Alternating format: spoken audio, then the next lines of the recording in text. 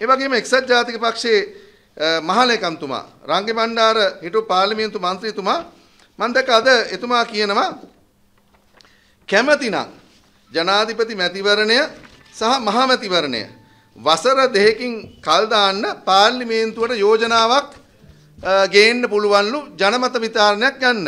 මේ පක්ෂක මහලේකම්වරයෙක් කියන්නේ. දැන් එතුමා ආණ්ඩුක්‍රම ව්‍යවස්ථාව ගැන කියවලාවද නැද්ද මන් දන්නේ නැහැ. මම දන්න විදිය නම් අපේ රටේ තියෙන ආණ්ඩුක්‍රම ව්‍යවස්ථාව තුළ ජනාධිපති මැතිවරණයක් කල් දාන්න බෑ.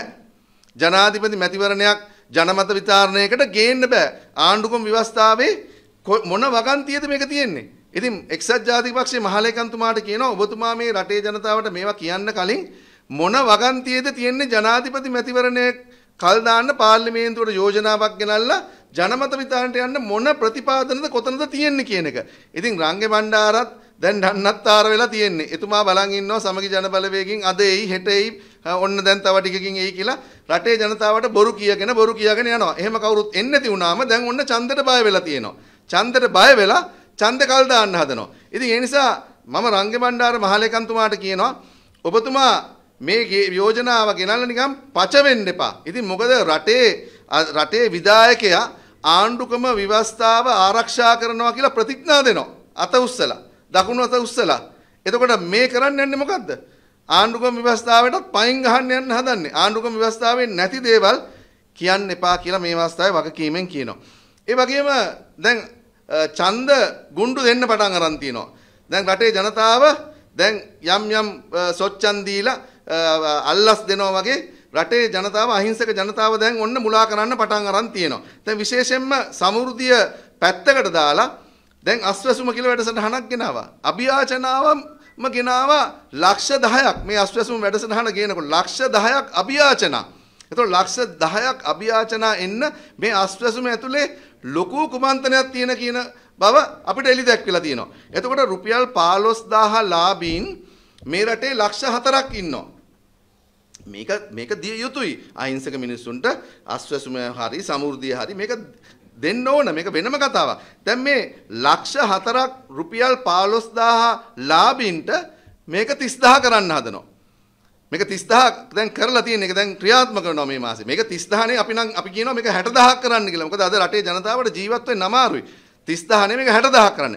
හැබැයි රුපියල් 30000ක් වැඩි වෙනකොට ලක්ෂ 4කට මේ අස්වැසුමලාභීන් බිලියන 12ක් මේකට වෙන් වෙනවා. අපේ රටේ සල්ලි බිලියන 12ක් මේකට වෙන් වෙනවා. මේක කිසිම ගැටලුවක් නැහැ. මේක අපි කියන්නේ 30000 60000 කරන්න කියලා. හැබැයි ඡන්දෙටත් වෙන් කරන්නේ බිලියන 10යි. එතකොට අද සෞඛ්‍ය ශාස්ත්‍රයේ 15000ක් පාරට බහැලා තියෙනවා. අපිට දෙන දීමනාව වැඩි කරලා දෙන්න කියලා. එතකොට අද රජයේ සේවකයෝ අපිට අපිට මේ අපිට ජීවත් වෙන්න අමාරුයි කීයක් හරි වැඩි කරලා දෙන්න කියනවා. එතකොට එක පැත්තකින් මේ රටේ ඉන්න ප්‍රබල ව්‍යාපාරිකයෝ සුළු හා මධ්‍යම ව්‍යාපාරිකයෝ අඬනවා අපිට ව්‍යාපාර කරගන්න විදියක් නැහැ අපේ අපිට බදු පිට බදු ගහලා අපිට ජීවත් වෙන්න අමාරුයි අපේ රැකියාවන් කරගන්න අමාරුයි. එක පැත්තෙන් කරුමාන්ත වැහෙනවා.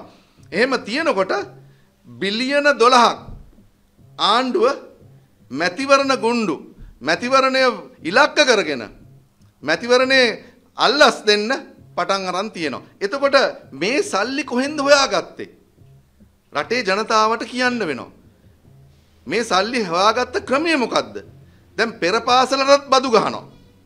අපේ රටේ තියෙන පෙර පාසල් වලටත් බදු ගහන්න පටන් අරන්. දැන් සාමාන්‍යයෙන් ගමක පෙර පාසලක් කියන්නේ පොඩිම තැනක්නේ. පෙර පාසලටත් බදු ගහලා බිලියන 12ක් පාවිච්චි කරලා 15000 30000 කරලා ඔන්න දැන් දෙන්න හදනවා. ඉතින් ඒ නිසා රජයට මම කියනවා මේ මුදල් හොයාගත්ත ක්‍රමවේදය පොඩ්ඩක් රටේ ජනතාවට කියන්න වෙනවා.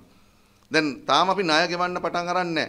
දැන් රංගේ බණ්ඩාර එක්සත් ජාතික පක්ෂයේ මහලේකම්තුමා කියන විදිහට දැන් අපි ඉදිරියේදී ණය ගෙවන්න සූදානම් වෙලා තියෙන්නේ රට දැන් ක්‍රමක්‍රමයෙන් ක්‍රමක්‍රමයෙන් දැන් අපි ඔළුව උස්සගෙන ඉදිරියට යනවා මේ බංකොලොත් වෙච්ච රට බේරගත්තේ අපිය ඉතින් කියලා දැන් මෙහෙම කියලා මැතිවරණයේ අවුරුද්දකින් කල් දාන්න ආ පාර්ලිමේන්තුවට යෝජනාවක් ගේන්න හදනවා දැන් මේක තුමාගෙන් ඉතින් ඒ නිසා විශේෂයෙන්ම මේ සම්බන්ධව රටේ ජනතාව අද බලාගෙන ඉන්නවා ජනාධිපති මැතිවරණයක්. අපිට ආරංචි විදියට ජනාධිපති මැතිවරණයක් පවත්වන්න කැබිනට් එකෙන් මේක මුදල් වෙන් කරගෙන මේ සියලුම දේවල් සූදානම් කියලා තමයි අපිට ආරංචි. ඉතින් මං හිතන්නේ අපේ මේ සජිත් ප්‍රේමදාස මැතිතුමා රටේ ගමක් ගමට ගිහිල්ලා මේ ජනතාව දැනුවත් කරන ඇත්ත කියන මේ රැස්වීම වලදී ජනතාව අද එක්රැස් වෙනවා. හිතා ගන්න බැරි පිරිසක් එකතු වෙනවා එතුමාත් එක්ක. මේක දැකලා විශේෂයෙන්ම අපේ මැයිදින පෙළපාලිය දැකලා අපේ ජනරැලි දැකලා එක්සත් ජාතික පක්ෂයේ නායකතුමා වත්මන් ජනාධිපතිතුමා රනිල් වික්‍රමසිංහ මහත්තයත් ඒ කණ්ඩායම ඇතුළු පක්ෂයේ ඒගොල්ලගේ මහලේකම්තුමත් මං හිතන්නේ දැන් බය වෙලා ඉන්නවා. ඉතින් හැමෝම බය වෙලා ඉන්නවා අද අපිට. ඉතින් ඒ නිසා අපි මේ රටේ ජයග්‍රහණය කරන පක්ෂයක් විදියට ඕනම මැතිවරණයකට අපි සූදානම්. ජනාධිපති මැතිවරණයකට අපි සූදානම්. මහ මැතිවරණයකට සූදානම්. අපේ අපි සියල්ලම අපි සංවිධානය කරලා තියෙන්නේ. ඒ නිසා වෙලාවට ඡන්ද තියන්න. අපි ඉල්ලීමක් කරනවා මේ රජයෙන් වත්මන් ජනාධිපතිතුමාගෙන් ඔබතුමා මේ ජනාධිපති මැතිවරණේ નિયમિત වේලාවට පවත්වන්න කියන එක අපි මේ අවස්ථාවේ යෝජනා කරනවා.